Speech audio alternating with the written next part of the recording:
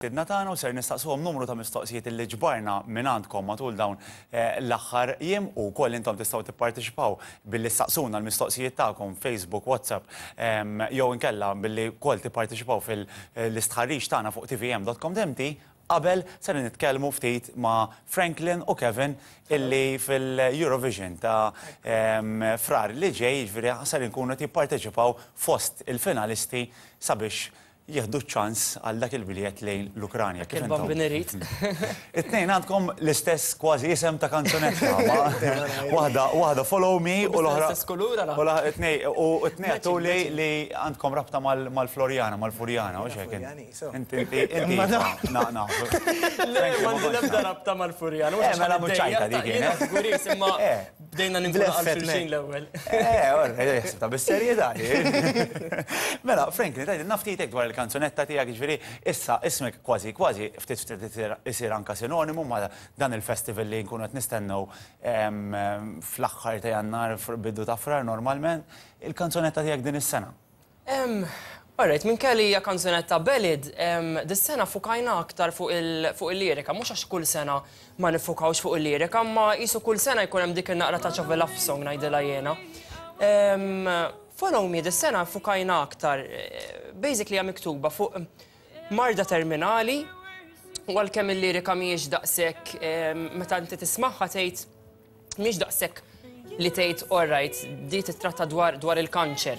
Hija kanzunetta dwar persuna li li qed tmut u ma titlifx il-tama. It-tama u tkompli tkompli hemm tirsisti. Dak that's basically. Tirrefera ħafna aħna, ġviri, minn hemm wara il-produzzjoni tal-mużika tiegħek? Cyprian Kassar u Ivan Grek. U ehm, klim ta' metmux u Ivan Grek. Cyprian li kien jiforma parti minn tenis xema ġew finu xek u Ivan qed nifhem li huwa l-istess Ivan tal-Winter Moon.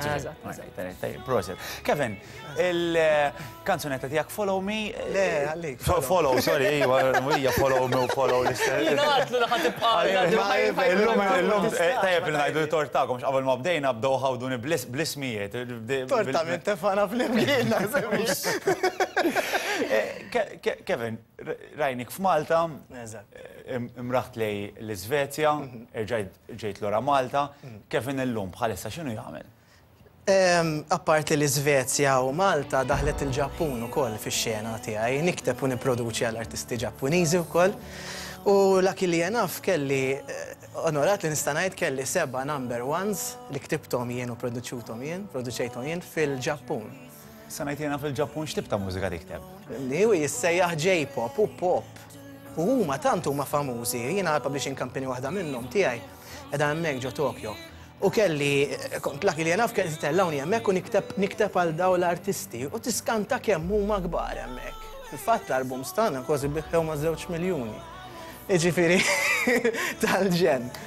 U issa fil-Eurovision? Issa fil-Eurovision, iva. Id-diska Follow hija pproduċuta u miktuba minni stess ukoll u l-kollega tiegħi Simon Gribbe. Provajt indaħħal daqsxejn ta' dettall ta' fantażija. Hija love story wkoll fl-istess ħin, ibbażata fuq persuna li titlef persuna oħra, ma fl-istess ħin il-ħolm li toħlom din il-persuna jsir reali. Jiġifieri jipprova jidħol ġol-ħolma biex lilha jġibha lura. U biex niżvela xi ħaġa, naħseb fil-music video mbagħad meta jqum mill-ħolma tkun ħdejhi. Ngħid jiena wara li ksibt suċċess internazzjonali sinifikanti, ftit kienu dawk l-artisti li rnexxilhom jiksbu dak li ksibt inti, x'fettillek erġajt interessajt ruħek fil-Eurovision? Ma fettilli xejn, l-Eurovision huwa xi ħaġa kbira diġà.